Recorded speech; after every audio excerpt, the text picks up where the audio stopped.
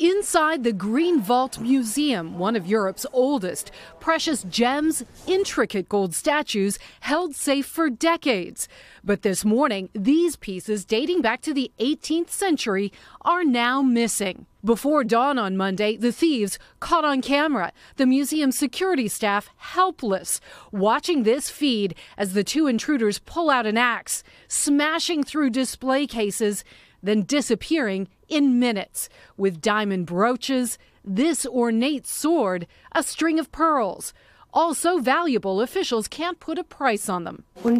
The museum director said the jewels are complete sets handed down over generations. German media calling it the biggest heist since World War II.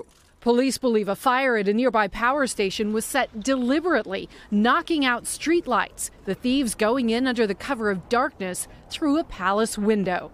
But hot jewels, especially the historical kind, can be very hard to sell.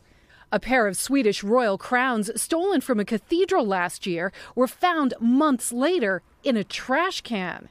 It's very difficult for the thieves to monetize an asset like this everybody will be looking out for them. They would be very suspicious of being offered any diamonds of this particular historic cut. The Green Vault's most famous gem, the 41 carat Dresden green diamond, is safe.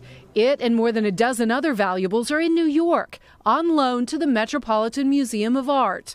This morning, the jewel room is still a crime scene. German investigators are combing it for clues that they hope will lead them to Dresden's priceless treasures and the thieves.